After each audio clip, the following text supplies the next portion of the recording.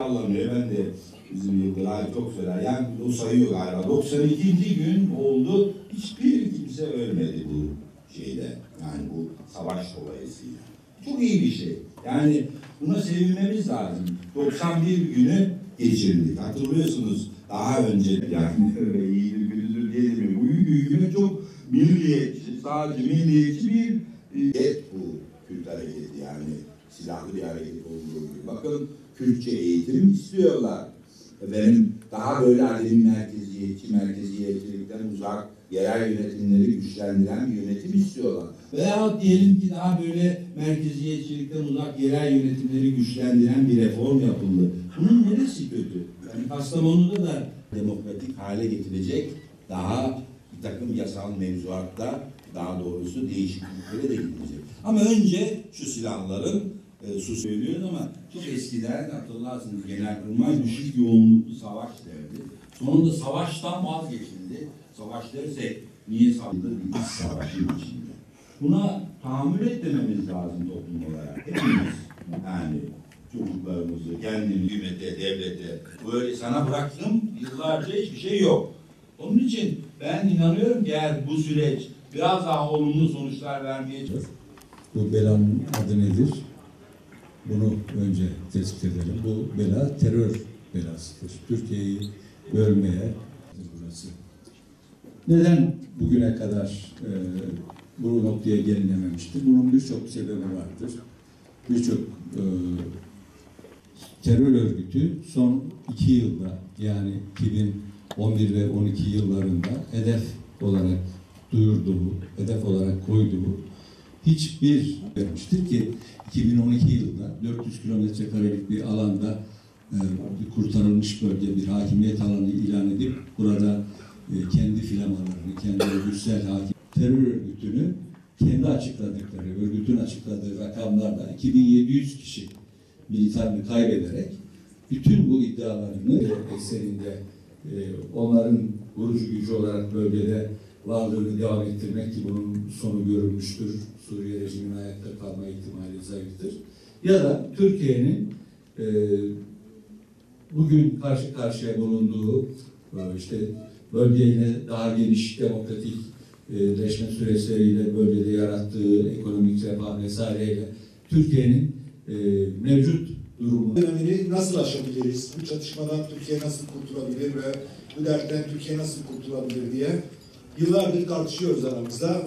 Ve burada başından beri iki çizgi, iki yol çıktı ortaya. Bir yol bu mesele işte askerlerin formülüyle biz bunu hallederiz. Siz bize çocuklarınızı verin, silahları verin, paraları verin, kanunları çıkarın. Biz bu işi hallederiz. Ee, işte keşke bu açılım 6 ay önce başlasaydı da ben benim oğlum da bugün yaşasaydı dedi. Ee, tabii bu meselenin e, ne kadar önemli olduğunu en iyi e, bu kayıpları yaşayanlar biliyor. Ee, ama uzaktan işte devam etsin, Salonda olan bütün herkes de farklı görüşlere, düşüncelere sahip. Ama sonuçta bizi buraya getiren bir şey var. En azından hepimizin ortak olduğu tek bir nokta var. Kanın durması. Ben bundan sonra televizyonları açtığım zaman şehit haberi duymak istemiyorum. Tanımadığım, duymadığım, belki bir daha hiç karşılaşmayacağım. E ama ismini duyduğumda canımı yakan birilerinin toprağa düştüğünü görmek istemiyorum. Bunları duymak istemiyorum. Bir fevkalade güncel aynı zamanda bir o kadar da hassas. Hepinizin elbette bu konuya ilişkin söyleyeceği pek çok sözü vardır, yapabileceği pek çok değerlendirme vardır ama süre sınırımız olduğu için az önce belirttiğimiz üzere 3 dakika içerisinde maksimum e, görüşlerinizi ifade edebilirsiniz. Memnun oluruz. Görüşleriniz fevkalade önemlidir bizim için. Olumlu görüşlerinizi de, olumsuz görüşlerinizi de yalnız e, değerli insanları, e, Kastamonu'ya hepiniz hoş geldiniz. Ben Cumhuriyet Halk Partisi 22. dönem Kastamonu Milletvekili Mehmet Yıldırım. Aslında buraya davet edilerek gelmedim. Burada toplantı olacağını duydum ve sizlerin de buraya insanları Kastamonu'nun görüşlerini almak için geldiğinizi duyduktan sonra talep ettim. Sağ olsunlar idareciler beni kabul ettiniz. Çok teşekkür ediyorum. Ancak şunu söylüyorum.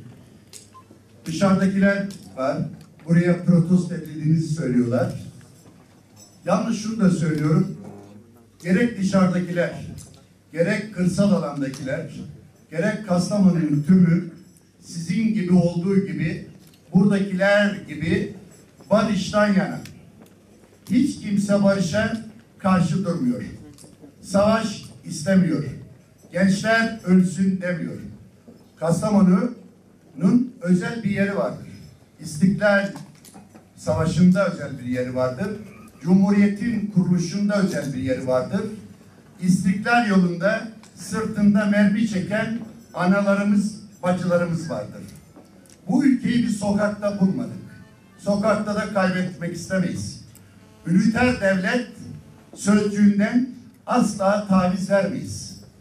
Bugün elbette ki PKK terör örgütünün açılımını da okuduğumuz zaman partiyi Kürdistan'ın içi partisi diyor.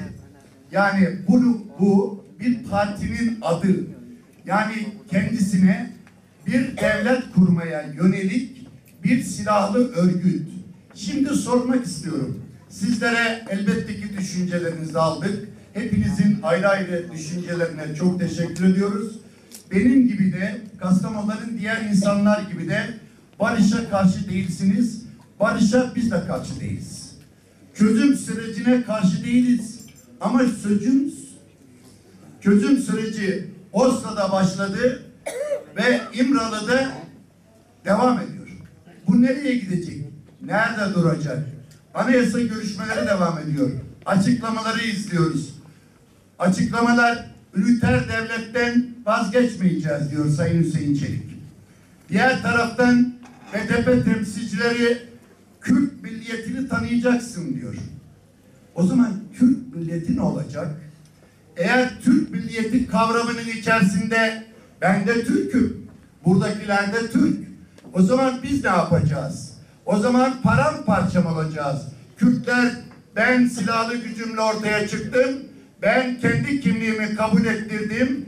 Dilimi kabul ettirdim. Ana dilde eğitimi kabul ettirdim. Mahkemelerde savunma hakkımı kabul ettirdim diyecek. Benim Türkçem ne olacak? O zaman nereye gidiyoruz? Amerika'dan kalkan, limandan kalkan gemi Libya'ya uğradı. Ondan sonra Türkiye uğradı. Orta Doğu projesi kapsamı içerisinde Irak'ın durumu malum. İran şu anda müdahale bekliyor. Suriye karma karış. Türkiye'de 30 yıldır finansmanını dış güçlerin gerçekleştirdiği, silahlarını verdiği, eroin ticaretini yaptığı PKK terör örgütü olarak kabul ettiği, bize de yutturduğu, şimdi Türkiye'yi barış masasına oturarak PKK terör örgütünü tünü siyasallaştırarak özür dileriz. Yani İsrail'in bize dilediği gibi siz PKK terör örgütü değilmişsiniz. Türkiye sınırları içerisinde Irak'ta yaşayan gibi, Suriye'de yaşayan gibi, İran'da yaşayan gibi bir Kürt milleti kavramı varmış. Biz bunu Lozan'da tanımamıştık. Şimdi özür diliyoruz. Biz sizi sizi şu anda siyasallaştırıyoruz mı diyeceğiz? Özür mü gelecek peşinden? Endişemiz budur. İkincisi Sayın Başbakan diyor silahlarınızı gömün gidin. Daha önce konuşan sevgili kardeşimiz ifade ettiği gibi bu insanların dış ülkelerden, Suriye'den, oradan, buradan olan insanların sayısı yüzde on. Yüzde doksanı Türkiye Cumhuriyeti vatandaşı. Türkiye Cumhuriyeti vatandaşının yurt dışına çıkışı pasaporta bağlı. Hukuki bir zemin. Ben eski bir milletvekiliyim ve ben Türkiye kimlik kartımla dışarı çıkamıyorum. Benden pasaport istiyorlar. E peki pasaport mu vereceğiz? Buradan girip çıkacaklar mı? Hukuki zemini bu. Ne bunun? Türkiye Silahlı Kuvvetleri yurt sınır koruyor. Oradan çıkıp giderken kaçak giriyorlar çıkıyorlar. Ayrı bir durum. Siz şeyinize girin. Kışlanıza girin. Kışlanızdan çıkmayın. Bunlara koridor oluşturun. Kim oluşturacak? MİT. Bu ne biçim süreç bu? Yani bunun hukuku ne? Yani bu sürece karşı olan kimse yok. barış istiyoruz. Barış istemeyen bir Allah'ın kulu yok. Burada da yok, dışarıda da o çocuklar sizi protesto ettiyse aslında protesto size değil. Bu anlayışı, bu empozeyi yapan bu hükümetedir. Bunu böyle algılayın. Bunu böyle algılamanızı rica ediyorum. Hepinizi saygın insanlarsınız. Hepiniz kendi dalında Sayın Esnaf Odaları Başkanımı, Genel Başkanımı tanıyorum. Oral Çalışlar'ı çok iyi tanıyorum. arasında böyle bir işe emek sarf edip bizleri ziyaret ettiğiniz için hepinize teşekkür ediyorum. Ayağınıza sağlık. Umarım Mevla samimi gayretlerinizin semeresini verir ve yıllardan beri memleketimizde akan kanın durması için yapılan bu güzel başlangıç hayırlı yetiştirip sarmamış ya da kendi sahip oldukları çocuklarına garnizonlarda, ordu evlerinde, askeri dinlenme tesislerinde hatırlarını, nüfuzlarını kullanarak askerlik yaptıranlar bunun acısını, bunun çilesini ve bu endişenin insan beyninde yaptığı tahribatı elbette ki bilmezler. Onun için bu insanların öyle miydi, böyle miydi, yok memleket mi gittiydi, yok memleketin neresini verecektik gibi sözlerini siz evladını doğuda, güneydoğuda ya da memleketin herhangi bir yerinde kaybetmiş ve gözyaşları arasında toprağa vermiş bir ana baba izah edemezsiniz. Vatanın kutsallığı, vatanın mukaddesatı elbette onun üzerinde yaşayan insanlarla, onların değerleriyle ölçülen bir mefhumdur. Biz hepimiz teker teker toprağa düştükten sonra, teker teker en olgun çağımızda, vatanımıza en fazla hizmet edeceğimiz çağda, kendimizi toprağa verdikten sonra, üzerinde insan yaşamayan, üzerinde hareket eden bir canlı olmayan o toprak parçasına nasıl vatan diyeceğiz? Kapının önündeki arkadaşlarımız için, hemşehrilerimiz için ben de, için de sizden özür diliyorum. Onlar Kastamonu halkının ekseriyetinin görüşünü yansıtan davranışlar değil. Tabiri caizse birkaç gün öncesinden hazırlanmış, organize edilmiş, kurulmuş, bindirilmiş kıtadan ibaret olan insanlar. Bunların dövizleri, ellerine tutuşturulan şeyler bir takım mihraklar tarafından verildi. Kandan beslenenler, kendilerine bir takım suni hayal dünyaları icat eden insanlar, ellerinden artık son yapıştıkları oyuncaklarının gitmeye başladığını gördüklerinde maalesef çok endişeli bir şekilde Amerika'dan kalkan gemilerden vesairelerden bahsediyorlar. Ben de onlara pop şarkıcısı Yaşar'ın bir şarkısıyla cevap vermek istiyorum. Siz acaba aha gemide ben de olsaydım şarkısını söyleyip gemide kendinize yer bulamadığınız için mi bunları söylüyorsunuz? Yoksa başka bir niyetiniz, başka bir arzunuz mu var?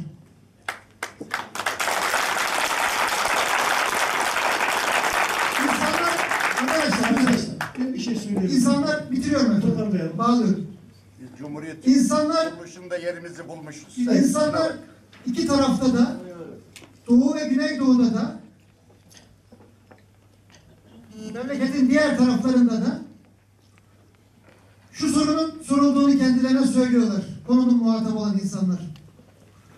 Bunlardan bir kısmı hükümete ve hükümetin yetkililerine olayı bu noktaya getirmek için ne verdiniz?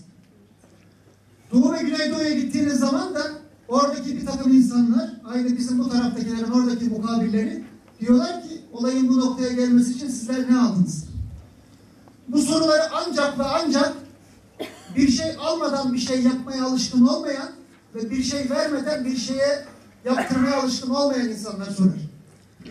Allah'a şükür ki bu memlekette bir şey almadan bir şey yapan ve bir şey vermeden bir şey yaptırabilecek kapasitede insanlar var. Yaşayan 76 milyon kardeşim için Türk'ü, Kürt'ü, Laz'ı, Çerkez'i, Arap'ı, Arnavut'u etnik kimliği ne olursa olsun hiçbirini kendimden ayrı ve farklı düşünmeden herkes için daha fazla demokrasi, herkes için daha fazla insan hakkı, herkes için bu mübarek topraklarda daha fazla insanca yaşama hakkı talep ediyorum. Bu hakkın gerçekleşmesi için de yapılacak olan her çalışmaya yürekten, cani gönülden destek veriyorum. Teşrifiniz için tekrar teşekkür ediyorum. Ben teşekkür. Benim gibi düşünen insanlar, dışarıda protesto edenler aynı düşünüyor. Sizi protesto etmem hiçbir zaman. Çünkü demokrat bir insanım. Size de saygı duyuyorum. Hepinize teker teker saygı duyuyorum. Ben de özür dilerim. O konuda. Ama dışarıdaki arkadaşları da yerin dibine batır, batırmak, vatan haini gibi tasavvur etmek yanlış. Vatan için ben kanımı dökerim. Kanımı yine veririm. Çoluğumu çocuğumu hiç sorgulamadan da gönderirim. Eğer sorguluyorsan burada bir yanlışlık var arkadaş. Öyle yapma. Sayın Vedat Bey'in konuşması çok hoşuma gitti. Türkiye Cumhuriyeti Devleti bu şekilde davranmalıdır. Türkiye Cumhuriyeti'nin milleti de bu şekilde davranmalıdır. Ama bazı şeyleri 2000 kişiye papuç bırakarak değil. Sayın Başkanım benim fikrim bu. Teşekkür ederim. Nereden anlatacağım? Bir çeşmenin başında bir aile aşağı mahalleden kız istemiş. Kız o mahal şey yani eee bir tabir daha var. Affedersiniz öküz altından buzağı arama gibi.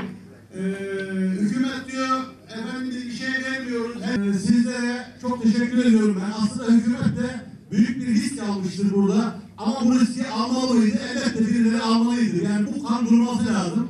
Eee sizlere tekrar tekrar teşekkür ederim. Ben çok teşekkür Bir mevzuyla Güneydoğu'da sürekli muhatap alınan kesim sürekli BDP, PKK çizgisi muhatap alınıyor. 21 Mart'ta Nevruz günü kutlanırken orada 1 milyona yakın BDP, PKK yanlısı görülen kişiler toplandı. Sürekli bu gündeme getirildi. Daha sonrasında Dicle Üniversitesi'nde İslami faaliyet yapmak isteyen öğrenciler bunların saldırısına uğradı ve burada söz sahibi biziz. Bizim söylemediğimiz, izin vermediğimiz bir şey yapamazsınız denildi. Daha sonrasında geçen pazar 21 Nisan günü yine aynı şekilde kutlu doğum etkinliğinde aynı meydanda milyonu aşkın kişi toplandı. Tunceli plakası buradan da bir mana çıkabilir yani. Ee, Kılıçdaroğlu mesaj. Ee, 90'larda da bir milletvekili meclise önerge vermiş. Ee, sarı, kırmızı, yeşil trafik renklerini, trafik lambalı renklerini değiştirebilir ve buna benzetiyor. Ee, biraz önce bir beyefendi de içeri girerken galiba siz e, yani kendi vatan haini gibi hissettim. Galiba girerken dediniz. Yani çok ben de benzer şeyler hissettim. Ee, bu bizim akil insan toplantısı Dolmabahçe'de yapılırken e, Yılmaz Erdoğan işte e, içeri girerken bir emekli albay yanına gelmiş. E, demiş ki ya Yılmaz Bey yanlış iş yapıyorsunuz. Oraya, oraya giriyorsunuz ama orada ülkeyi bölüyorlar. Demiş. O da cevap olarak şöyle demiş. E, bir gireyim içeri bölüyorlarsa çıkarım. Biraz öyle yani. Şimdi içeri girdik. Biz de ülkeyi bölmüyormuşuz demek ki. Bölmeye çalışmıyormuşuz. Ee, ben biraz gerçekten moralim bozulmuştu aslında girerken. Hani ben çok etkileniyorum bu şeyden. Gerçekten hayırlı bir şey. Biraz önce beyefendi söylediği gibi yani hayırda, sulhte hayır vardır. O 12.50'de aynı motivasyonla dolaşacağız herhalde. Çok teşekkürler gerçekten. Çok yararlı bizim oldu bu toplantı bizim için.